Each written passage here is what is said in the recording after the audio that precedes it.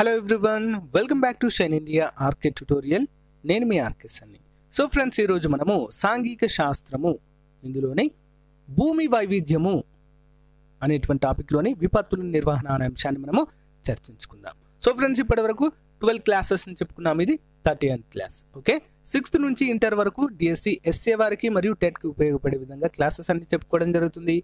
At the same time PDF file కూడా అందచేయడం జరుగుతుంది. గమనించాలి ఫ్రెండ్స్. ఓకేనా? డిస్క్రిప్షన్లో లింక్ ఉంటుంది. పీడిఎఫ్ లింక్ డౌన్లోడ్ చేసుకోండి. Okay? Let start the class. విపత్తులు నిర్వహణ. చూద్దాం.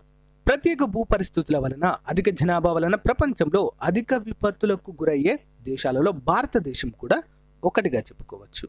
భారతదేశంలో వివిధ విపత్తులు తరచుగా సంభవించే ప్రాంతాలు. ఒకటి తుఫాన్లు. దేశ తూర్పు ఆగ్నేయ ప్రాంతాలు భూకంపాలు పీఠభూమి హిమాలయ ప్రాంతాలు వరదలు గంగా బ్రహ్మపుత్ర మైదానాలు కరువులు. పశ్చిమాన రాజస్థాన్ దక్షిణాన రాయలసీమ ప్రాంతాల్లో మనము కరువులను ఎక్కువగా చూడవచ్చు. కొన్ని ప్రాంతాలు ఒకటి కంటే ఎక్కువ ప్రమాదాలకు గురి కావచ్చు. ఉదాహరణకు కోస్తా ప్రాంతంలో నివసిస్తున్న ప్రజలు తరచూ వరదలు తుఫాన్లకు కూడా గురి కావచ్చు. ఇటువంటి ప్రాంతాలు బహుళ ప్రమాదాల ప్రాంతము మల్టీ హజార్డ్ జోన్గా పిలుస్తూ ఉంటారు.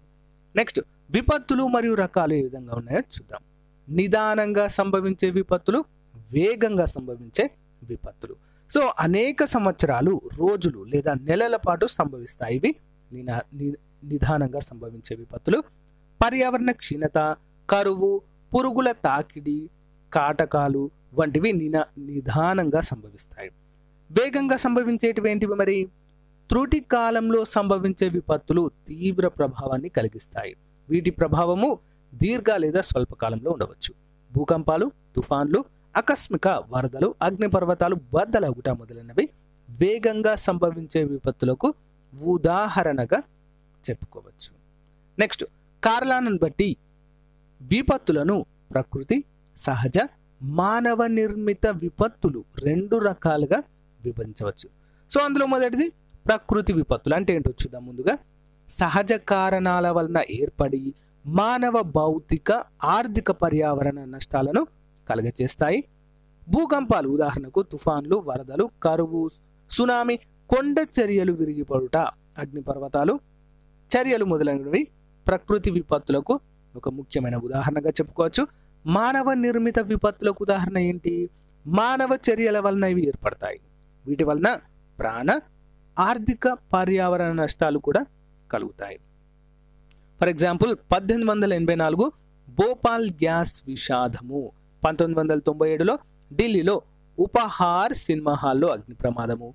రెండు వేల రెండులో రాజధాని ఎక్స్ప్రెస్ రైలు పట్టాలు తప్పడము. రెండు వేల నాలుగులో కుంభకోణం తమిళనాడులో పాఠశాలలో అగ్ని ప్రమాదం. రెండు వేల ఎనిమిదిలో జైపూర్లో వరస పేలుళ్ళు మానవ నిర్మిత విపత్తులకు బెస్ట్ ఎగ్జాంపుల్స్గా చెప్పుకోవచ్చు. విపత్తుల యాజమాన్యము విపత్తులు లేదా అత్యవసర పరిస్థితులపై నియంత్రణ సాధించడము విపత్తుల ప్రభావాన్ని నివారించడానికి లేదా తగ్గించడానికి లేదా వాటి నుండి కోలుకోవడానికి దోహదం చేసే విధానాలను అందించే దాన్నే విపత్తుల యాజమాన్యము డిజాస్టర్ మేనేజ్మెంట్ అంటారు. విపత్తులు యాజమాన్యంలో ఉన్నటువంటి దశలు. విపత్తులకు స్పం ఏర్పడుట అత్యవసర స్పందన సహాయము పునరావాసము పునర్నిర్మాణము నష్టపరిహారము సంసిద్ధత. విపత్తులు ఏర్పడడం. విపత్తులు ప్రకృతి కారణాలు లేదా మానవ చర్యల ఫలితంగా ఏర్పడతాయి. తుఫాన్లు భూకంపాలు వరదలు బాంబు పేలుళ్ళు మొదలైన విపత్తులు కలుగుతాయి. విపత్తులు ఏర్పడుట అనేటువంటి అంశము. అత్యవసర స్పందన సహాయం అంటే ఏంటో చూద్దాం. తుఫాన్లు సంభవించిన వెంటనే ప్రభావితులైన ప్రజలకు ప్రభుత్వము సామాన్య ప్రజలకు స్వచ్ఛంద సంస్థలు సహాయం అందిస్తారు. ప్రమాదంలో ఉన్న వాళ్ళను కాపాడడంతో పాటు ఆహార వసతి బట్టలు మందులు కూడా అందించాలి. పునరావాసము పునర్నిర్మాణం అంటే ఏంటి? తక్షణ సహాయం తర్వాత ప్రభుత్వము స్వచ్ఛంద సంస్థలు పునర్నిర్మాణము పునరావాస చర్యలు చేపడతారు. ఇళ్ళ నిర్మాణము రోడ్లు వంతల నిర్మాణము విద్యుత్ సరఫరా ప్రసార సరఫరా పునరుద్ధరణ జీవనోపాధికి మద్దతు వంటి అంశాలు ఆర్థికపరమైన సహాయంక సహాయాలు చేపడతారు. నెక్స్ట్ నష్ట నివారణ నష్ట నివారణ చర్యలు ప్రణాళికాబద్ధంగా అమలు చేయుట వలన వైపరీత్యాలు వైపరీత్యాల ప్రతికూల ప్రభావాలను గణనీయంగా తగ్గించవచ్చు ఫ్రెండ్స్ అంటే నష్టము జరిగినాక కంటే జరగక ముందే నష్ట నివారణ చర్యలు చేపట్ట చాలా ముఖ్యము. ఉదాహరణకు మడా చెట్ల పెంపకము భద్రమైన ప్రదేశాలలోకి గ్రామాలను మార్చడము తుఫాన్లను తట్టుకునే విధంగా గృహ నిర్మాణాలు ప్రోత్సహించడం వంటివి తుఫాన్లను ఎదుర్కొనుటలో నష్ట నివారణకు చర్యలవుతాయి. నెక్స్ట్ సంసిద్ధత. విపత్తు ఎదుర్కొన్న తర్వాత దీర్ఘకాలంలో ప్రజలు సంసిద్ధంగా ఉండే ఉండేలా ప్రభుత్వము స్వచ్ఛంద సంస్థలు ప్రజలకు అవగాహన శిక్షణ కార్యక్రమాలను నిర్వహించాలి. ఆంధ్రప్రదేశ్లో ఏర్పడిన రెండు తుఫాన్ల ఆధారంగా విపత్తుల యాజమాన్యం యొక్క ప్రాధాన్యతను గుర్తిద్దాం. ఒకటి విపత్తుల యాజమాన్యం లేనప్పుడు విపత్తుల యాజమాన్యము ఉన్నప్పుడు చూద్దాం. పంతొమ్మిది వందల డెబ్బై ఏడు నవంబర్ పదిహేనున ఆంధ్రప్రదేశ్లో పెను తుఫాన్ తాకింది. రెండు వందల కిలోమీటర్ల వేగంతో మించిన గాలులతో వీచడం అనేది జరిగింది గాలులు. సో నష్టము. పదివేల నాలుగు వందల యాభై నాలుగు మంది చనిపోయారు. నిరశ్రాయులైన వారు యాభై ఐదు లక్షల మంది. ప్రభావితులైన ప్రజలు తొంభై వేల తొమ్ సారీ తొమ్మిది లక్షల తొంభై ఏడు వేల నాలుగు వందల మంది. మొత్తము ఆస్తి నష్టము మూడు వందల డెబ్బై ఎనిమిది కోట్ల రూపాయలు. అదేవిధంగా పంతొమ్మిది వందల తొంభైలో ఆంధ్రప్రదేశ్లో పెను తుఫాను తాకింది. మరొక తుఫాను. సో దీని తీవ్రత పంతొమ్మిది వందల తొంభై ఏడు తుఫాన్ తీవ్రత కంటే అధికంగా ఉంది. కానీ విపత్తు సంసిద్ధత చర్యల వలన కలిగిన నష్టాన్ని తగ్గించుకోగలిగాం. చనిపోయిన వారు కేవలము తొమ్మిది వందల అరవై తొమ్మిది మాత్రమే. నిరశ్రాయులైన వారు అరవై ఆరు లక్షల ముప్పై నాలుగు వేల మంది మాత్రమే. నెక్స్ట్ ప్రభావితులైనటువంటి వారు ఎంతమంది? ఇరవై ఆరు లక్షల నలభై వేల మంది. ఓకేనా? సో ప్రభావితులైనటువంటి వ్యక్తులుగా మనము చెప్పుకోవచ్చు. సో నిరాశ్రాయులైన వారు అరవై మూడు లక్షల నలభై వేలు మంది ఫ్రెండ్స్ గుర్తుంచుకోవాలి. అంటే విపత్తు యాజమాన్యం ఉన్నప్పుడు లేనప్పుడు అంటే విపత్తు నిర్వహణ చర్యలు చేపట్టిన తర్వాతనే గణనీయంగా ఈ యొక్క నష్టం అనేది తగ్గినట్లుగా మనకు స్పష్టంగా తెలుస్తుంది. ముందుగా సునామీ. జపాన్లోని సు అంటే రేవు నామి అంటే అలలు అని అర్థము. సో రెండు కలిపి సునామీ అన్న పదము ఏర్పడింది. సముద్రంలో భూకంపాలు అగ్నిపర్వతాలు పేలడం లేదా కొండ చర్యలు విరిగిపడడం వలన పెద్ద పెద్ద అలలు చెలరేగి తీర ప్రాంతాలను అత్తలాకుతలం చేయుటనే సునామీ అంటారు. దగ్గరలోని భూకంపాల వల్ల ఉత్పన్నమైన సునామీ అలలు కొద్ది నిమిషాలలోనే తీరాన్ని తాకుతాయి. ఆ అలలు తక్కువ లోతును చేరినప్పుడు చాలా అడుగుల ఎత్తు ఎగసి ప్రాంతాన్ని విధ్వంసకర శక్తులతో తాకుతాయి. సో సునామీ లక్షణాలు. సునామీలో అనేక అలలు ఉంటాయి. మొదట అలలన్నిటికంటే పెద్దది రాక కాకపోవచ్చు. మొదటి అల తర్వాత అనేక గంటల పాటు పెద్ద అలల తాకే ప్రమాదం కూడా ఉంది. మైదాన ప్రాంతంలో సునామీ మనిషి కంటే వేగంగా అంటే గంటకి యాభై కిలోమీటర్ల వేగంతో పయనించగలదు. సునామీ పగలు దాని పగలు కానీ రాత్రి కానీ ఏ సమయంలోనైనా సంభవించదు. దానికి ప్రత్యేకంగా టైం అంటూ లేదు. సునామీ ముందు ఏం చేయాలి మరి? సునామీ ముప్పుకి గురయ్యే ప్రాంతంలో మీ ఇల్లు బడి పని ప్రదేశం తరచూ సందర్శించే ప్రదేశాల్లో ఏదైనా ఉన్నాయో తెలుసుకోండి. సునామీ సంభవించినప్పుడు మీరు ఉండడానికి అవకాశం ఉన్న మీ ఇల్లు బడి పని ప్రదేశము ఇతర ప్రదేశాల నుంచి తప్పించుకునే మార్గం గురించి ముందే తెలుసుకోవాలి. ఎగ్జిట్ ఓకేనా? నెక్స్ట్ తప్పించుకునే మార్గాల ద్వారా క్షేమంగా ఉండే ప్రాంతాలను చేరుకోవడాన్ని సాధన చేస్తూ ఉండండి. అత్యవసర పరిస్థితులలో ఉంచుకోవలసిన సామాగ్రితో సిద్ధంగా ఉండండి. సునామీల గురించి మీ కుటుంబంతో చర్చిస్తూ ఉండండి. సునామీ సమయంలో ఏం చేయాలి మరి? మీరు ఇంటి వద్ద ఉండి సునామీ హెచ్చరిక వింటే కుటుంబంలో అందరికీ ఆ విషయం తెలియచేయాలి.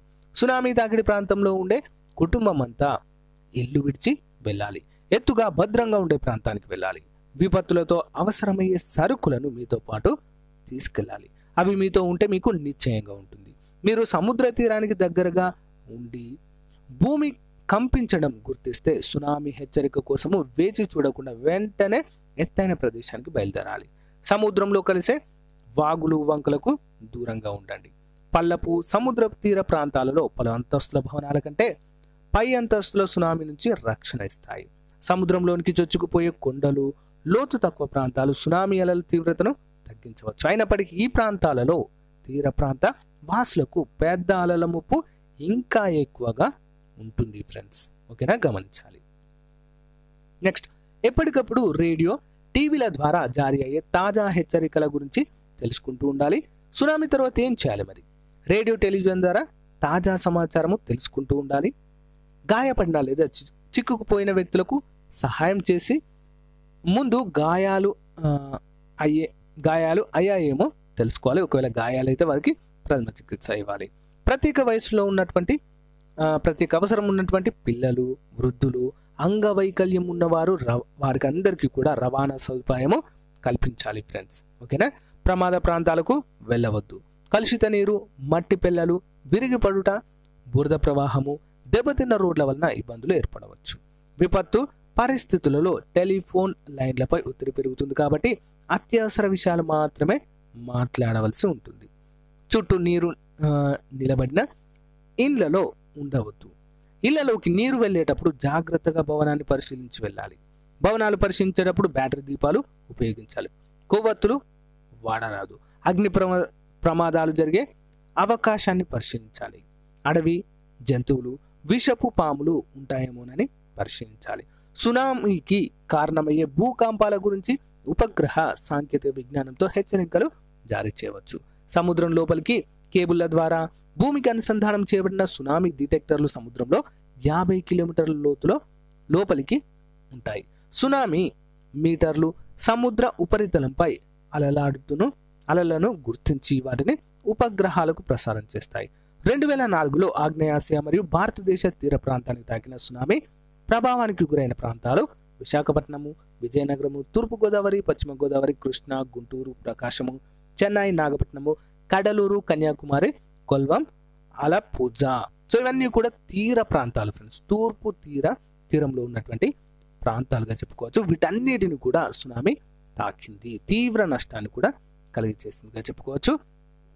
నెక్స్ట్ మానవుల నిర్లక్ష్యము లేదా కావాలని ఒక వ్యక్తి లేదా బృందం చేసే పనుల వలన ఏర్పడే విపత్తులను మానవ కారణంగా ఏర్పడే విపత్తులుగా చెప్పుకోవచ్చు. ఇటువంటి విపత్తులకు ఆస్తి నష్టము ప్రాణ నష్టం కలిగిస్తాయి. దేశ ఉత్పాదక ఆర్థిక సామర్థ్యంపై రుణాత్మక ప్రభావాన్ని చూపిస్తాయి. సో ముందుగా రోడ్డు ప్రమాదాలు. భారతదేశంలో ప్రతి సంవత్సరం రోడ్డు ప్రమాదాల వలన ఎనభై వేల మంది చనిపోతున్నారు. ఇది ప్రపంచవ్యాప్తంగా రోడ్డు ప్రమాదాల్లో మరణిస్తున్న వారిలో పదమూడు శాతము. రెండు వేల సంవత్సరంలో ప్రమాదాల కారణంగా స్థూల జాతీయోత్పత్తి అంటే జీడిపిలో మూడు శాతం నష్టపోయాం. రోడ్డు ప్రమాదాల్లో చనిపోతున్న వారిలో అత్యధికులు పదిహేను నుంచి నలభై నాలుగు సంవత్సరాల మధ్య ఉన్నటువంటి వయస్సు వారే. భారతదేశంలో అధిక శాతం ప్రమాదాలు నిర్లక్ష్య మరియు ట్రాఫిక్ నియమాలు ఉల్లంఘించడం వలన తాగి వాహనం నడపడం వలన వాహనాలు సరైన స్థితిలో లేకపోవడం వలన వాతావరణ పరిస్థితులు అనుకూలించకపోవడం వలన జరుగుతున్నాయి. సో దేశవ్యాప్తంగా ప్రతి సంవత్సరం జనవరిలో రోడ్డు భద్రత వారోత్సవాలు జరుపుకుంటాము. ఇప్పుడు జనవరిలో. రెండు వేల ఆరులో రోడ్డు భద్రత వారోత్సవాలకు ప్రమాదాలు లేకుండా ఉండడమే రోడ్డు భద్రత అనే అంశాన్ని ఎంచుకున్నారు. సో రోడ్డు ప్రమాదాలకు గురైన వారిని చూసినప్పుడు నూట ఎనిమిదికి ఫోన్ చేయాలి. స్థానికుల సహాయంతో ప్రాథమిక చర్యలు చేపట్టాలి. రోడ్డు ప్రమాదాలు జరగకుండా పాటించవలసిన నియమాలు ఏంటి చూద్దాం. ఫస్ట్ చేయవలసినవి చేయకూడనివి చూద్దాము. చేయవలసినవి. పద్దెనిమిది సంవత్సరాల నుండి చట్టబద్ధ లైసెన్స్ ఉంటేనే వాహనాలు నడపాలి. పాదచారులు ఎప్పుడు ఫుట్పాత్ పైన నడవాలి. ఫుట్పాత్ లేకపోతే రోడ్డు అంచులలో నడవాలి. ట్రాఫిక్ సిగ్నల్స్ ఉన్న చోట జీబ్రా క్రాసింగ్ వద్ద మాత్రమే నడవాలి. సో రోడ్డు సిగ్నల్స్ను వాటి అర్థాల గురించి అవగాహన తెలుసుకోవాలి. అంటే రెడ్ సిగ్నల్ ఏంటి గ్రీన్ ఏంటి ఎల్లో ఏంటి ఇవన్నీ కూడా తెలుసుకోవాలి. బస్ స్టాండ్ వద్దకు ముందుగానే చేరుకోవాలి. బస్ ఆగిన తర్వాత క్యూలో నిలబడి బస్ ఎక్కాలి. ద్విచక్ర వాహనదారులు హెల్మెట్ ధరించాలి. చేయకూడనివి ఏంటి మరి? చూద్దాం. రోడ్డు మీద అసహనంగా ఉండకూడదు పరుగులు తీయకూడదు. మలుపు మూలల వద్ద రోడ్డు దాటకూడదు. మలుపు తీసుకుంటున్న డ్రైవర్ మీరు మీకు కనిపించరు. ఓకేనా? బస్సు వాహనాలు ఎక్కుటకు పరుగులు తీయకూడదు. బడివారు నిర్దేశించిన వాహనాలు మాత్రమే ఎక్కాలి. బస్సు లోపల అరుపులు కేకులు పెట్టకూడదు. దీనివలన డ్రైవర్ ఏకాగ్రత దెబ్బతింటుంది. బస్సు ఫుట్పాత్ మీద ప్రయాణము చేయకూడదు. నెక్స్ట్ వన్ రైలు ప్రమాదాలు. ప్రపంచంలో ఎక్కువ రైలు మార్గాలున్న దేశాల్లో భారతదేశం కూడా ఒకటి. భారతదేశంలో రైలు ప్రమాదాలు పెరుగుతున్నాయి. బీహార్లోని బగల్పూర్ జిల్లాలో అల్చాపూర్ అనేటువంటి నూట యాభై సంవత్సరాల పురాతన వంతెన రెండు వేల ఆరు డిసెంబర్ ఒకటిన కూలిపోవటం వలన హౌరా జమాల్పూర్ సూపర్ ఫాస్ట్ రైలు కూలిపోయిన ప్రమాదంలో కనీసము ముప్పై ఐదు మంది మరణించారు ఫ్రెండ్స్. సో రైల్వే ప్రమాదాలు జరగకుండా ఉండుటకు పాటించవలసిన నియమాలు రైల్వే క్రాసింగ్ వద్ద గేటు క్రింద దూరి పట్టాలు దాటవద్దు. నెక్స్ట్ మండే గుణమున్న వస్తువులు రైల్లో తీసుకెళ్ళకూడదు రైల్లో తలుపుల వద్ద నిల్చోవడము కూర్చోవడము తొంగి చూడడం చేయవద్దు. ఆగి ఉన్న రైలు కదులుతున్న రైల్లోంచి మీ తల చేతులు వేటిని కూడా బయటకు పెట్టవద్దు. స్టేషన్లోనూ రైలు పట్టాల మీద దాటవద్దు. ప్లాట్ఫామ్ మారడానికి ఉద్దేశించిన పాదచారుల వంతెనను ఉపయోగించాలి. ఓకేనా? విమాన ప్రమాదాలు. పద్దెనిమిది వందల ఎనభై ఐదు జూన్ ఇరవై మూడున ఎయిర్ ఇండియా విమానం కనిష్ట కనిష్క నూట ఎనభై రెండు బాంబు కారణంగా పేలిపోయింది ఫ్రెండ్స్. ఓకేనా? సో ఈ మన విమాన ప్రమాదాలకు ఇవి ఉదాహరణగా చెప్పుకోవచ్చు. సో ఫ్రెండ్స్ ఇవి ఫ్రెండ్స్ ఈ రోజుకు సంబంధించినటువంటి విపత్తుల నిర్వహణ అనేటువంటి టాపిక్. సో చాలా ఇంపార్టెంట్. ప్రతి పోటీ పరీక్ష కూడా ముఖ్యమైన అంశము. సో నా క్లాస్ మీకు నచ్చింది అని అనుకుంటున్నాను. నా క్లాస్ మీకు నచ్చినట్లయితే ఒక లైక్ చేయండి. మీ ఫ్రెండ్స్ అందరికి షేర్ చేయండి. ఎవరైనా కొత్త వారు చూస్తున్నట్లయితే అప్డేటెడ్ ఇన్ఫర్మేషన్ కోసము డైలీ అప్డేట్స్ కోసము పక్కన ఉన్న సబ్స్క్రైబ్ బటన్ ప్రెస్ చేసిన తర్వాత బెల్ బటన్ కూడా ప్రెస్ చేయండి. Thank you friends have nice day bye